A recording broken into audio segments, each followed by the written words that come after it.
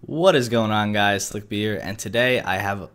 I'm very excited about what I'm going to talk about today. I just wanted to um, say it has to do with World of Warships. I'm sure you read the title. You're here. I'm excited too.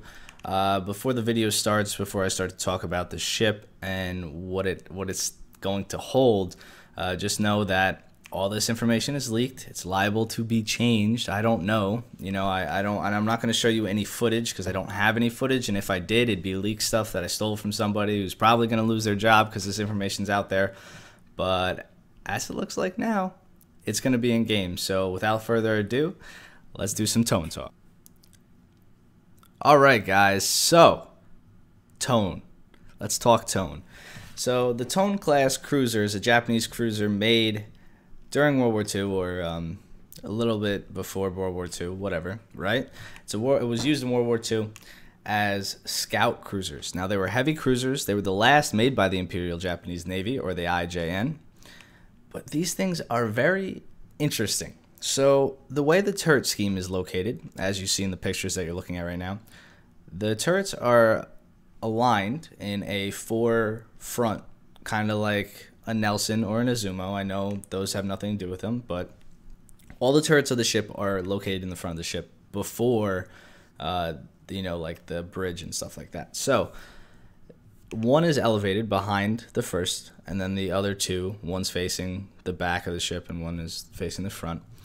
Now, I don't know what this is going to hold for how the ship plays. My guesses are it's going to be very easily citadeled in the front of the ship.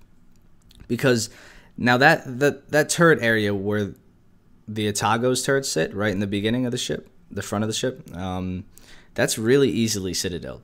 Now, since all of the turrets on the ship are right there, I'm assuming that the citadel is going to be there and it's going to be easily penned and easily blown up. I, I have no idea, but uh, that's that's my guess is that it's going to be easily citadeled and easily set on fire. Now, the thing with these ships in real life were they carried a lot of planes. They were scout cruisers. They usually went out ahead of the fleet and they would scout. They could carry multiple planes on the deck. As you can see, I'll show a over like an overhead design. You can see it had two arms to shoot planes off of and it carried I think three extra maybe. I'm not sure. But it carried a lot of planes. Um, you know, that that it's pretty crazy how many planes it carried. We're going to talk about armament a little bit. So, oh, this thing was armed with eight 203 millimeter guns. Um, I believe they're the same size as the other cruisers in of the Japanese tier. It had eight 127 millimeter guns as the secondary armament. It had 12 25 millimeter AA guns and 1200 610 12 610 millimeter torpedo tubes. So four sets of three torpedo tubes. I believe two on each side. So wait, four sets of three. Yes, two on each side. Okay. I was like, wait, wait, hold on, I lost myself. So the belt armor on this bad boy is 3.9 inches, and the deck armor is 2.6 to 1.2 in, in different areas, and it could carry six float planes. It had two catapults. Now I want to know in game if this thing is going to be able to launch both planes. I mean, that's a natural question. And if it can launch two planes at a time, can they be different? So they could it be a fighter and a scout plane? So you could, you know, have both, or could it be two fighters? Or are you going to have loadouts for planes that you can carry? I don't know, but I think that would be interesting if you could do that. Now it has the normal setup for torpedo tubes, so we know this ship is going to be able to perform. We know the guns are going to be pretty accurate, uh, aligned with like the Atago class, like how the Atago plays. So the guns are going to be accurate. They're going to be good. The torps are going to be deadly. The ship is going to be fast.